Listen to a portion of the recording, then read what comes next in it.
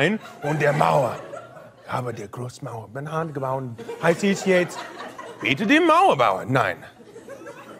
Aber du ein Sau. Aber du ein Sau. Hello, how are you? You like my English accent? It's very nice. Very well, thank you. Cheerio. So, I like I like British accents because they're so sexy. You've declared your backing for Hillary Clinton. Yes. Uh, I mean, there there will be a, a new president, and it could be Donald Trump. I have nothing to say of him. I'm intrigued that you that you literally won't say anything about him. You have endorsed Hillary Clinton. I mean, what is it you think that she is going to do for the USA that he will not?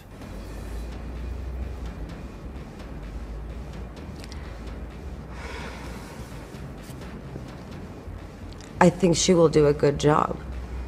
Some people want to win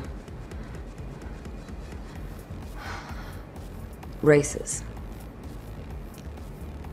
Other people want to be president of the United States. Minnesota. And I feel like this year is really about like the year of just realizing stuff and everyone around me we're all just like realizing things 2016 looking good Minnesota, Minnesota soccer mom. okay. Yeah, this is what they sound like. I was driving down the road the other day and I was in my van and this mini, this, oh, this deer, this dang deer just jumped out in front of my van and I didn't even know what was going on because I don't know if I swerve, then I might go off the road and hit a snowdrift and I was just trying to pick up Jimmy from soccer and I, I didn't ask for that deer to go out in the middle of the road. If I hit the deer, then I got that on my mind all day, and I gotta clean off my car, and there's possible dents. But then you know you gotta think about if you swerve, they tell you not to do that in traffic class. Um, and I was late to pick Jimmy up, and he's like, "Mom, you're late," and he's just you know nagging at me the whole rest of the day, and it's all because of this dang deer. Justin Bieber just wears a new pair of underpants every day. I think he then sells them online. I'd buy them.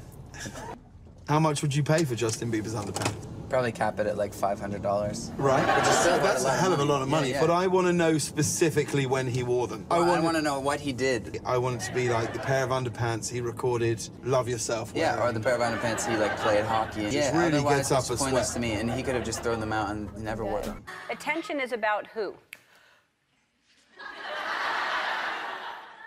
My, my heart's racing right now.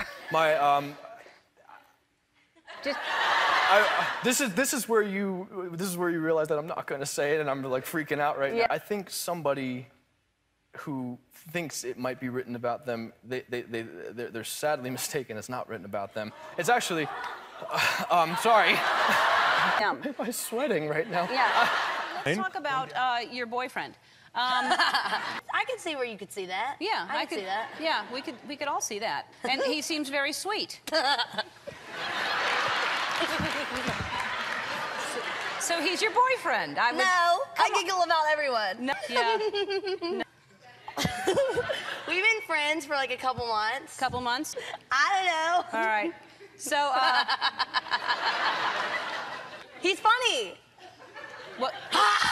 tell, tell us. tell us more about him. Um, he's a singer. Uh huh. He's really cute. Right. And he's nice and he's a Christian. and I really like that. Uh huh. Yeah. Yeah. All right. so you have a boyfriend. Great. Um, And now we welcome one. Guys, I'm the worst reader. Um, I think you should experience it. You always say I want to experience things, but I don't think you actually want to experience things because you would experience it if you wanted to experience things. I don't know what you're talking about.